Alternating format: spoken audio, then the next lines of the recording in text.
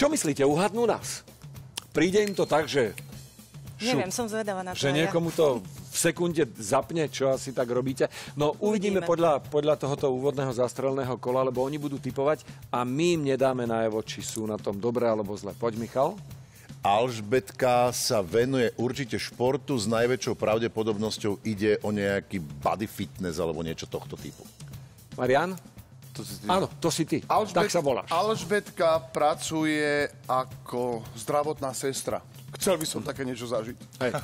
Šoko, to je ten vedľa teba. Áno, áno, ďakujem. Šuko. A To som ja. Šuko. Alžbetka pasie pávy.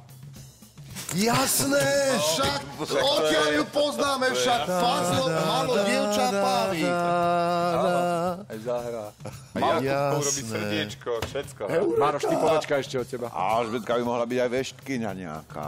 Alžbetka by mohla byť hocičo, ak vám bude pasovať indícia a povolanie. Takže najskôr indícia. Nie je kov ako kov.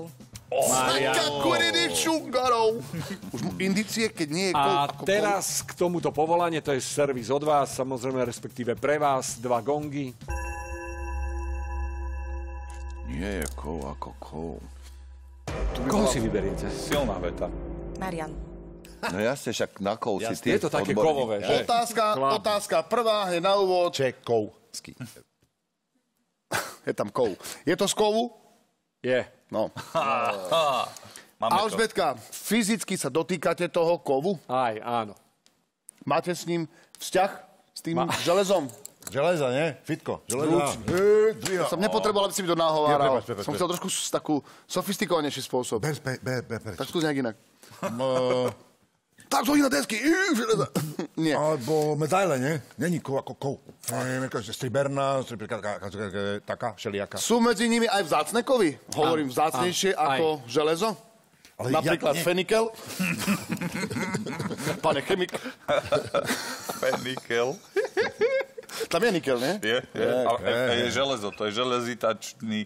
Do, dovidenia. Ty na ty, či ty železitý. Takže hovoríme tu o športe. Hovoríme. Je to šport, ktorý sa nám, chlap, chlapom, veľmi páči. Áno. Skoro si povedal chlapcom ináč. Skoro. Hej. Ale tak som Spomenul to... si, že aj ja som tu. Jedine ty si ma zabrzdil. No, nám chlap Om sa páči ten šport. Je to šport, pri ktorom je veľmi dôležité, aby každý sval, Na tele hral? aby každý sval na tele hral.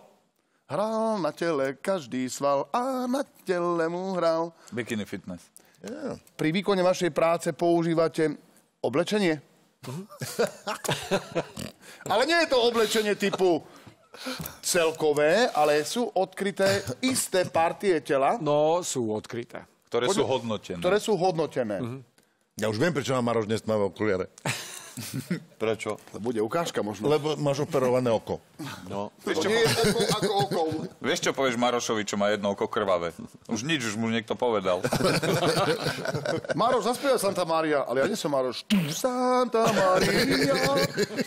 Dobre, Ja tam mám len tri štychy. Oh. tak to bola tá prvá indícia na všetky tri štychy. Alžbetka, takže podľa mňa je to šport a je to šport, ktorý súvisí s kulturistikou. Tak trošku. Je tam aj slovíčko fitness. Je. Môže mi niekto pomôcť s týmito športovými výrazmi? Môžem, môžem. Však keď prišiel, som povedal, čo robí. Čo? To je body fitness. No. Dobre, keď, po, keď to je to.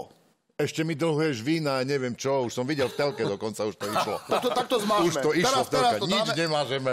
Á, Ja, dobre.